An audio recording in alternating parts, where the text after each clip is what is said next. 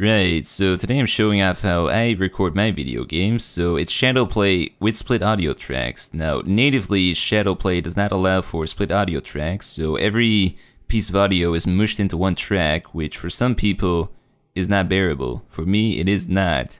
I like to split my mic track, my game sound, and my TS track so I can edit them all individually.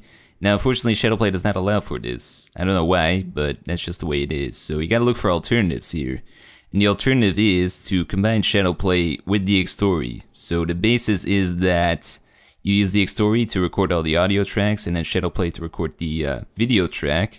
And then you combine the two. So this guide is assuming that you already have split audio tracks. So uh, either some hardware, either virtual audio cable or Voicemeeter or whatever else is out there.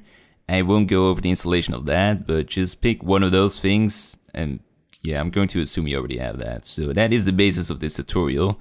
So what you're going to need is one of those things, Shadowplay. So you're going to need like a 600 plus series of NVIDIA graphics card to be able to use Shadowplay. And uh, Dxtory, which is uh, a recording program. So if you got all three of those, then you're uh, you're in the right direction. So we're to start off with Shadowplay.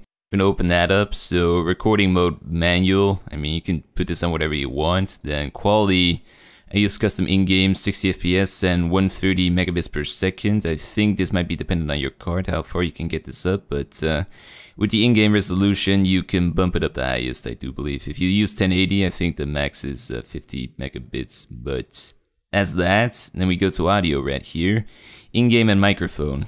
You could leave this on in-game, but it's gonna make syncing more difficult, and we're not gonna use this audio anyway, so I would go for in-game and microphone. As for the other settings, uh, I use a recording status indicator plus FPS counter in the top right corner and control plus F12 for uh, starting the recording. So that is that. Shadow we got down. Now we're going to go over to Dxtory right here. So one little thing you might want to do is um, have a non-recording status indicator in the top right corner so you can see whether uh, Dxtory is or is not recording. There is a slight issue though that if you do start recording and there is a uh, Dxtory recording indicator that that will show up on your Shadowplay footage. So a way to get around that is just to have this recording status indicator blank, so opacity zero right here. So this allows you to know whether or not Shadowplay and Dxtory are both recording or not recording.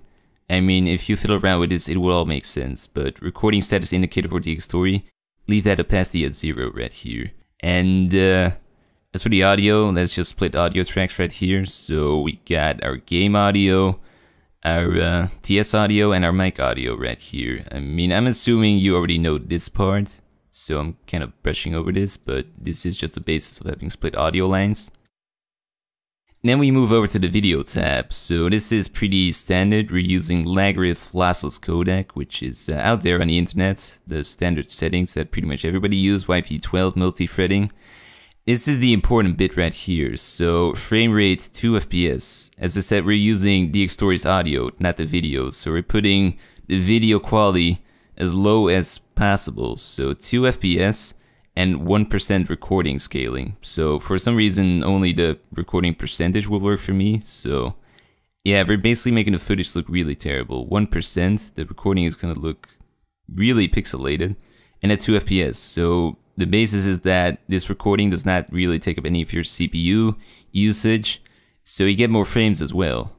And that is pretty much it. So now what you do when you go in game, um, I forgot to mention this actually. My key press for recording with Dxtory is F12.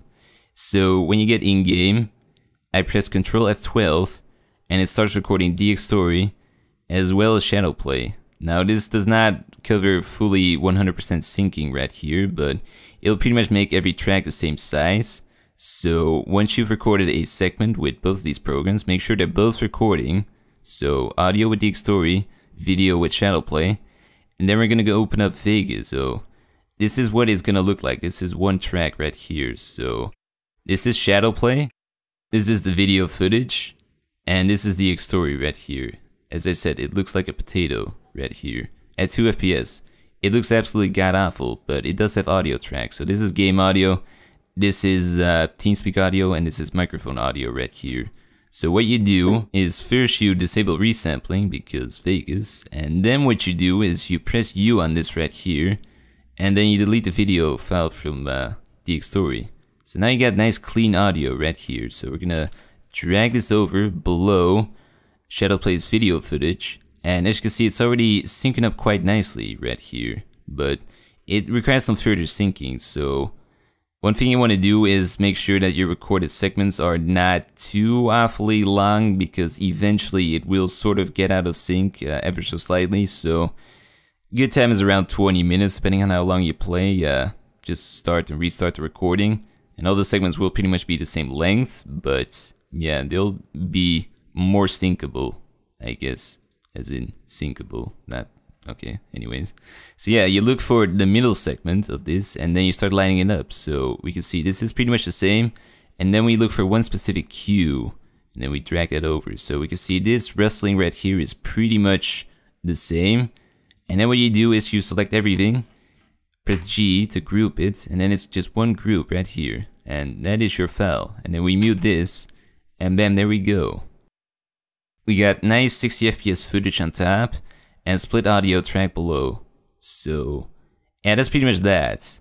I would pretty much only actually advise this for uh, games that are really CPU intensive. I mean, if you're playing something like CSGO, you probably just want to go for Dxtory with 60 FPS if you're really into split audio tracks. But for Arma, it's worth the extra frames because Dxtory 60 FPS on Arma takes up uh, a lot of frames, whereas Shadowplay does not. It barely affects your frames at all. And uh, yeah, that's pretty much that. It requires some extra manual syncing, but overall, once you get down to it, it's pretty easy, and it becomes second nature.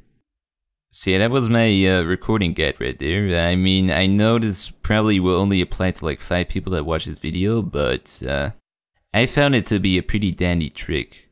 So, yeah, hope you enjoyed.